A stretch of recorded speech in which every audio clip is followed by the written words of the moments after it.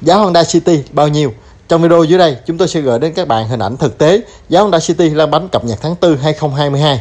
Honda City đã từng một lần bị khai tử khỏi danh sách sản phẩm của Honda tại thị trường châu Âu, Australia hay Nhật Bản. Năm 1996, Honda định hướng tập trung vào thị trường ô tô Đông Nam Á, nên Honda đã một lần nữa hồi sinh và có được thành công rực rỡ như ngày hôm nay. Đến tận năm 2013, Honda City mới lần đầu tiên xuất hiện tại thị trường Việt Nam. Tuy xuất hiện khá muộn so với những chiếc Toyota Vios, Hyundai Accent, nhưng Honda City lại tiếp cận được khá nhiều khách hàng do xe có kiểu dáng nam tính mạnh mẽ, được trang bị nhiều công nghệ hiện đại. Giá Honda City lại phù hợp với túi tiền của hầu hết người dân Việt Nam. Năm 2021 là năm bùng nổ của Honda City, đưa mẫu xe này trở thành sản phẩm hạt nhân cốt lõi của Honda với 9.745 xe được bán ra.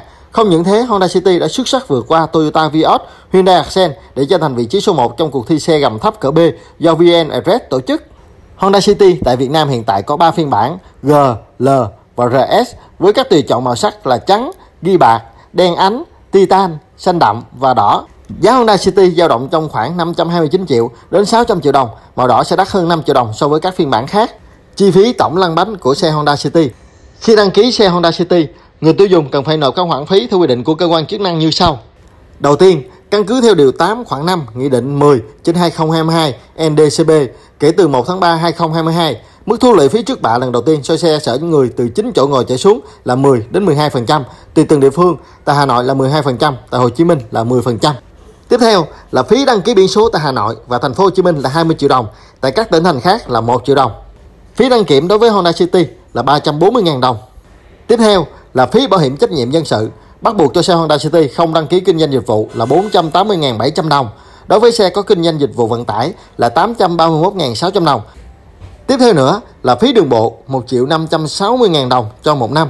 Phí bảo hiểm vật chất là 1.65% giá trị xe dựa trên giấy tờ mua bán. Ngoài ra, nếu sử dụng dịch vụ đăng ký của các bên hỗ trợ, bạn cũng sẽ mất thêm một khoản chi phí khác. Sau đây, chúng ta sẽ tạm tính giá đăng bánh của từng phiên bản. Đầu tiên, phiên bản Honda City G1.5L CVT giá niêm yết là 529 triệu đồng. Giá lăn bánh tại Hà Nội là 583 triệu 120 ngàn đồng. Tại thành phố Hồ Chí Minh là 568 triệu 830 ngàn đồng. Giá Honda City phiên bản L 1.5L CVT giá niêm yết là 569 triệu đồng. Giá lăn bánh tại Hà Nội là 625 triệu 520 ngàn đồng. Tại thành phố Hồ Chí Minh là 610 triệu 830 ngàn đồng. Honda City phiên bản cao cấp nhất, Honda City RS 1.5L CVT giá niêm yết là 599 triệu đồng. Giá lăn bánh tại Hà Nội là 657 triệu 320 ngàn đồng. Tại thành phố Hồ Chí Minh là 642 triệu 330 ngàn đồng. Cập nhật tất cả các chương trình ưu đãi của xe Honda City. Hầu hết các showroom ô tô Honda đều có những ưu đãi nhằm kích cầu mua bán của thị trường. Tham khảo một số chương trình khuyến mãi sau đây. Giảm tiền trực tiếp vào giá xe. Số tiền được giảm tùy thuộc vào từng đại lý. Tặng thế trước bạ, hầu hết các đại lý đều có. Hỗ trợ trả góp đến 80% giá trị của xe với lãi suất chỉ 6.9%.